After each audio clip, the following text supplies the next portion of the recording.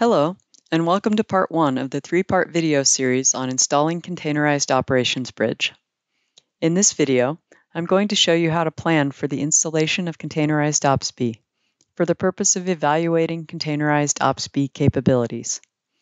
Keep in mind that for a production deployment, most of the topics presented in this video are valid as well, but the recommended sizing and deployment architecture might differ significantly to account for high availability and scalability configurations.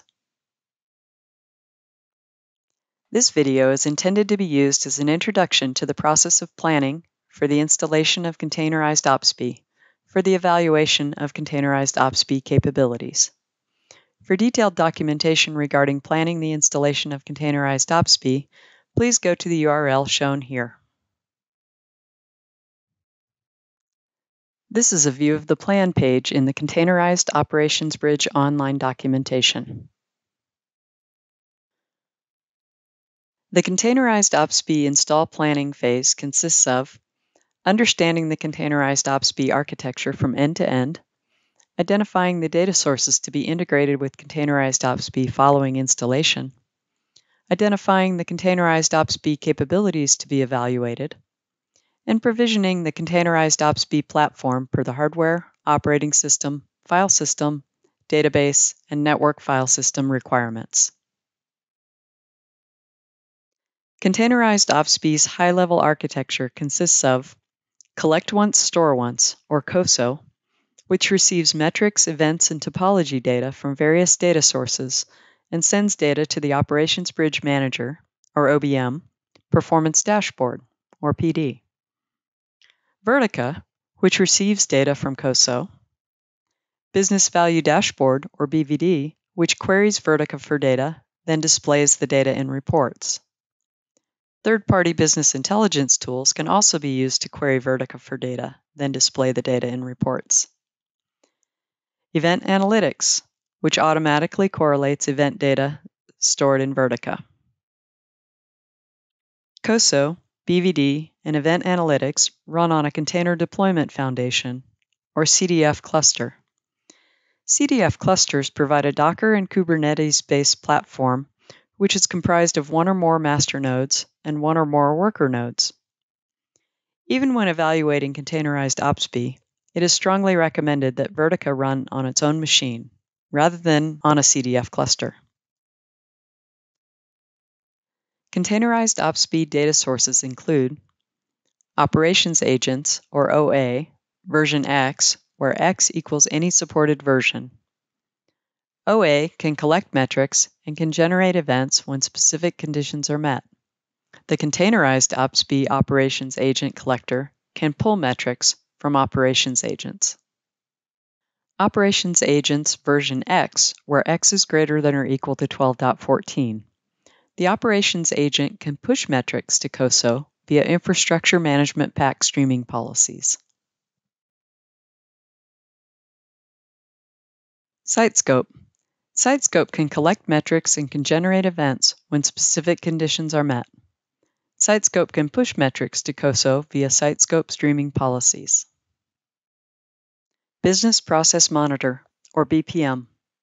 BPM can periodically replay transactions between a user and a service, then measure response time. BPM can push metrics to COSO via BPM streaming policies.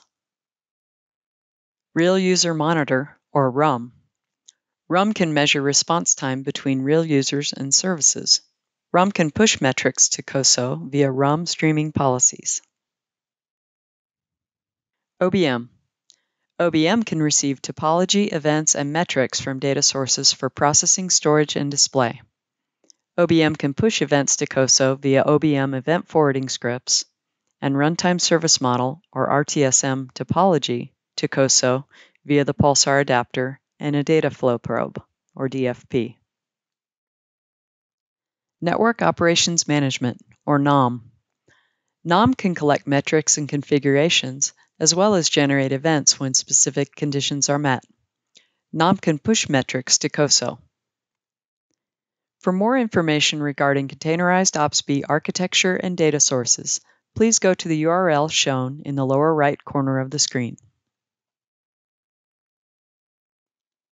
This is the Containerized Operations Bridge Get Started page, which includes more information about containerized OPSB architecture and data sources.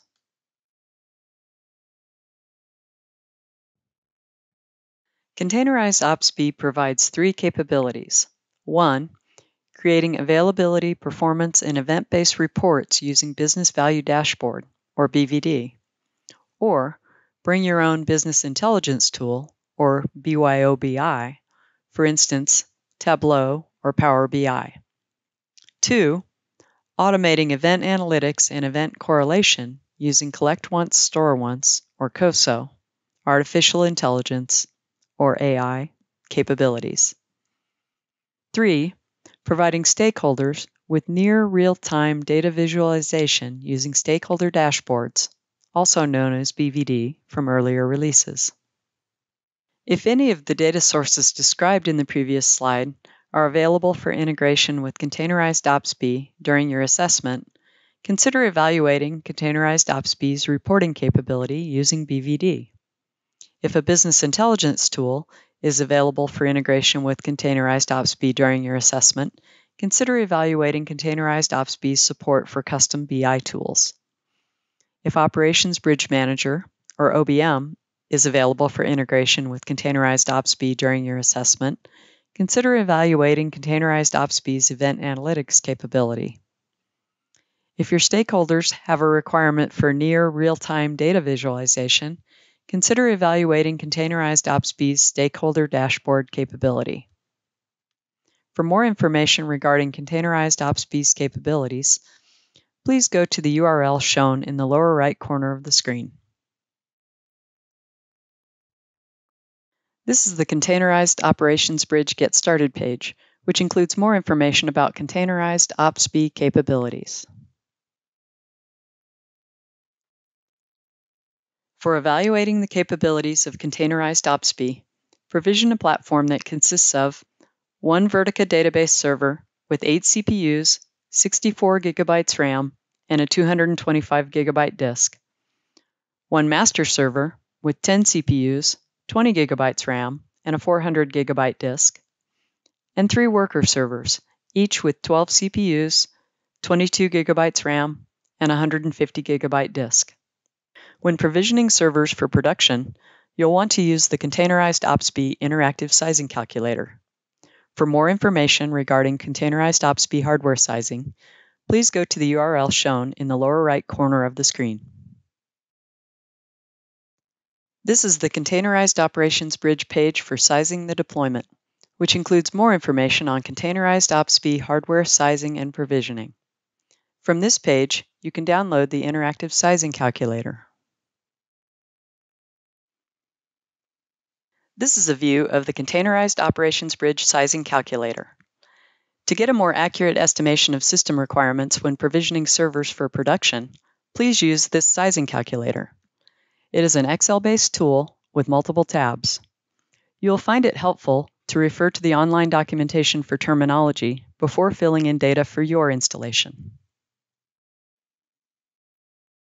When provisioning servers for the evaluation of containerized OPSB, all disk space can be allocated to the root file system, although this is not what we recommend for production deployments.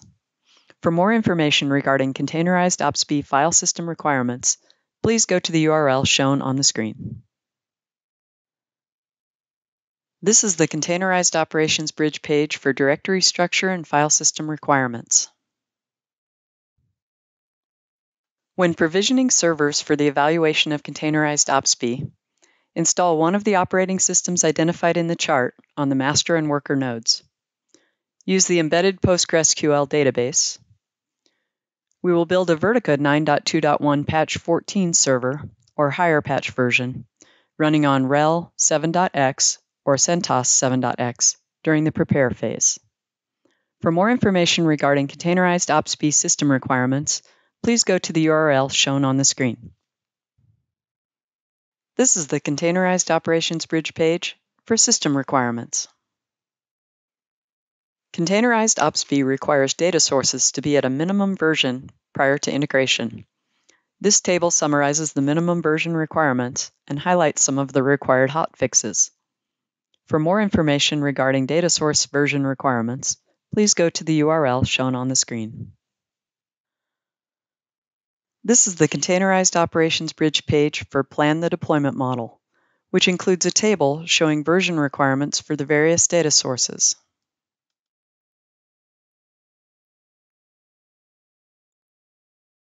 As noted on the previous web page, there are some hotfixes required for integrating Containerized Operations Bridge 2020-08 with OBM 2020-05, Operations Agent 12.14, and various other data sources. This web page summarizes the data source hotfix requirements. Please contact software support to get the hotfixes.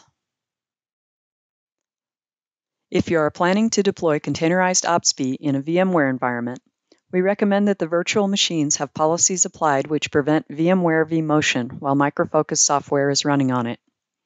A slow vMotion on Vertica or CDF node VMs may cause networking timeouts between management VMs. This can lead to problems with the CDF cluster or Micro Focus software running on it. For more information regarding disabling vMotion, please go to the URL shown on the screen. This is the documentation page to disable VMware vMotion on an ESX ESXi host. Thank you for watching part one of the three-part video series on installing Containerized Operations Bridge.